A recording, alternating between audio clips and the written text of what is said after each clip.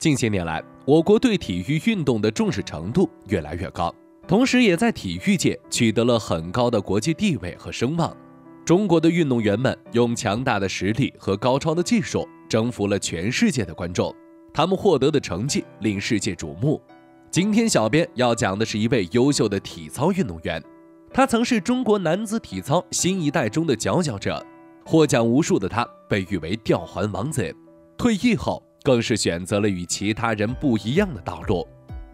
他勇敢地开始创业，成功当上公司总裁，成为人生赢家。这个人就是陈一冰。陈一冰在一九八四年出生于天津一个普通的家庭，未满七个月就出生的他，是个在保育箱里待了两个多月的早产儿。因此，陈一冰在年幼时身体素质很不好，经常生病。为了让他有强健的体魄。父母将五岁的陈一冰送到了体操馆里学习体操，从此陈一冰和体操结下了不解之缘。之后的五年，陈一冰在天津业余体操队训练，因为在体操上非常有天赋，教练特别看好他，经常让他参加比赛。他也慢慢在全国性的比赛中崭露头角。一九九四年底，陈一冰进入天津专业体操队，开始了更加专业的训练。本以为体操事业会一帆风顺的他，不曾想却在比赛中屡次失败，这一时间让他难以接受，挫败感席卷而来。他曾一度认为自己不适合体操，甚至想要放弃。或许是上天不愿意错过这个既努力又有天赋的孩子，更加专业和艰苦的体操训练之路开始了。在国家队的日子里，他看到了自己一天天的进步。重新燃起了对体操的热情。他曾说过这样一段话：练体操是很寂寞的，既然选择了体操，就要放弃许多在他人眼里很平常的点滴幸福。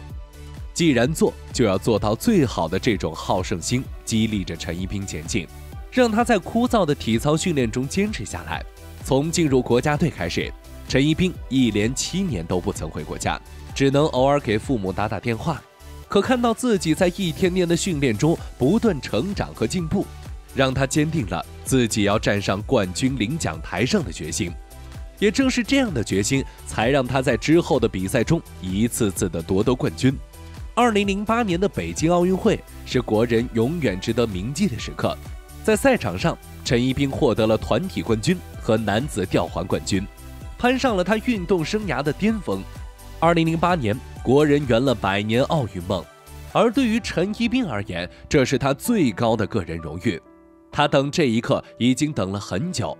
协调的肢体、流畅的动作、到位的幅度，最后稳如泰山的落地。陈一冰凭借出色的发挥，创造了吊环项目的最高分，因此也被称之为“吊环王”。陈一冰不仅体操技术高超，而且长相清秀，因此获得了很多粉丝的支持。零八年北京奥运会结束后，他和体操女神何雯娜的恋情被爆出，一时间，中国这对体操界的金童玉女吸引了无数人的关注，亲朋好友们纷纷送来了祝福。只可惜，两人的恋情只坚持了三年，最终和平分手。分手之后的何雯娜和陈一冰都随后出场的郭伟阳顶住压力，出色的完成了全部动作，最后中国队成功逆转。陈一冰参加的比赛几乎是冠军，可在男子吊环比赛中却无奈夺银。赛后，很多人都对这一结果表示诧异。让我们来回顾一下当时的比赛现场。但是，按照国际体操联合会的规则，中国队无法就这种情况提出申诉。英国 BBC 赛后在对陈一冰夺银这一事件的报道中力挺陈一冰，并说到：“他用金牌的动作夺得了银牌。”可陈一冰赛后却是带着大度的微笑，热情地拥抱了自己的对手。这一瞬间，陈一冰虽然失去了金牌，却赢得了全世界的尊重。从练体操到成为世界冠军，陈一冰用了十七年。在这十七年中，他自卑过，痛苦过，也打过退堂鼓，但他终究没有放弃，而是在一次又一次的打击中坚持了下来。由于年龄的问题，最终还是选择退役。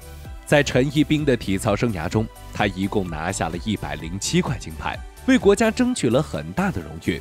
就在二零一三年十二月，陈一冰正式宣布退役。作为天津人，退役后的陈一冰回到了老家天津，被任命为天津市体育运动学校副校长，兼任天津市体操中心副主任。退役后的陈一冰像普通人一样，常常去健身房健身。当时因为欧美健身市场比中国发展的要早一些，陈一冰认真地研究了他们的培训模式，发现他们都是在线上学习。陈一冰觉得这是一个不错的创业机会。心怀创业梦的陈一冰，很快便通过与互联网领域的朋友合作，成立了行动体育，甚至还开发了行动会 APP。而他也实现了一个从世界冠军变成创业者，在常人看来，其实是非常大的一个跨越。可在陈一冰看来，这样的角色转变给了他不一样的感受。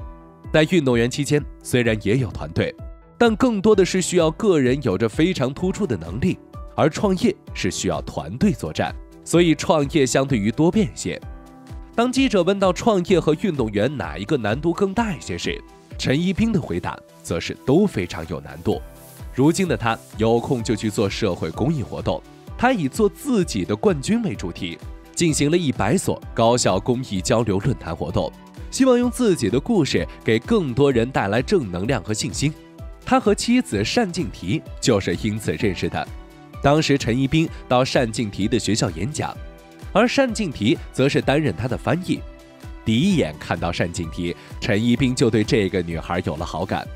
逛完校园后，陈一冰主动约单静提出来，还试探地问有男朋友的话叫他一起来。那天陈一冰假名逛街，实际上是想了解关于他的故事。在他的追求下，两人最终走到了一起。当时的单静提正在上学。陈一冰说道：“等你回来了，我就娶你。”这句话大概是最动听的一句话。可当时双方父母都觉得两人的进展速度太快了，况且当时单静缇正在上学，因此对于两人的婚姻并不是很放心。经过两人的软磨硬泡，最终2014年认识了三个月后，两人步入了婚姻的殿堂。如今的陈一冰经常在视频中教大家健身，呼吁大家运动，还喜欢晒女儿的日常，是个妥妥的女儿奴。希望她带着对生活的热情，带着这份简单和童真，在事业上越来越好。本期视频到这里就结束了，我们下期再见。